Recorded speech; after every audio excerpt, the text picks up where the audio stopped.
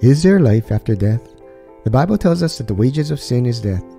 I was listening to a song called Who Am I by Casting Crowns, and I thought about this one sentence in the lyrics Who am I that the eyes that see my sin would look on me with love and watch me rise again? Have you sinned? Made a serious transgression in your life that ruined your marriage, finances, health, relationships, and the opportunity for a great life? You feel like you want to give up or give in because it's just too hard to make it back in life.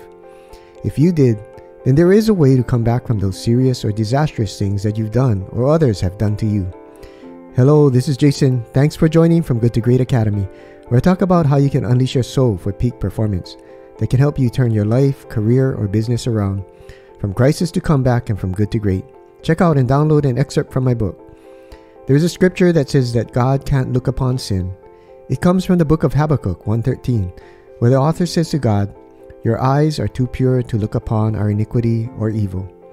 So many people have felt this way in their hearts and have shunned God only because they believe His eyes are too pure to look upon our mistakes or the immoral things that we have done that have hurt God, others, and ourselves.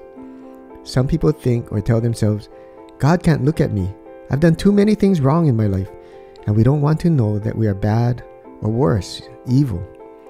That is why so many people hang around people who carry the same baggage or type of sin.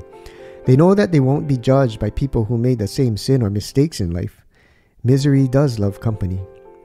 But the way to turn your life around is to look upon your sin and be sorrowful about it and change your life for the better. You can't ignore a stain on your clothing or poop that you stepped in. You only carry it with you to the next place you go. Others can see the stain or smell the poop, but the person, once they get used to it, doesn't notice the stain or the smell anymore.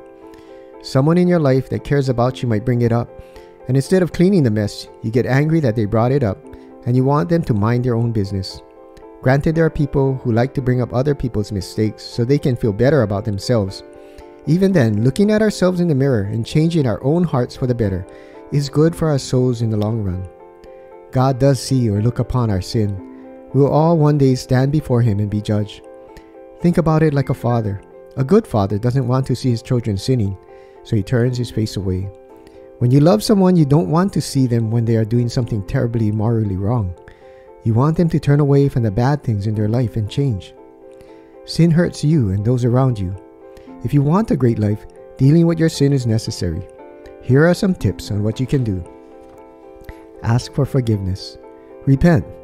This means to be truly sorrowful in your heart and turn away from the sin.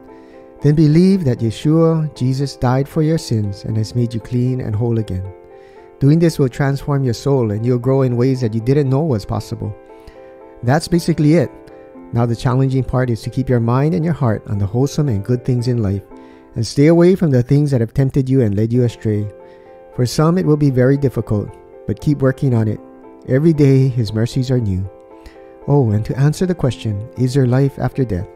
My answer is yes, I believe there is. Don't forget to subscribe to my channel. Thank you. See you on the next video.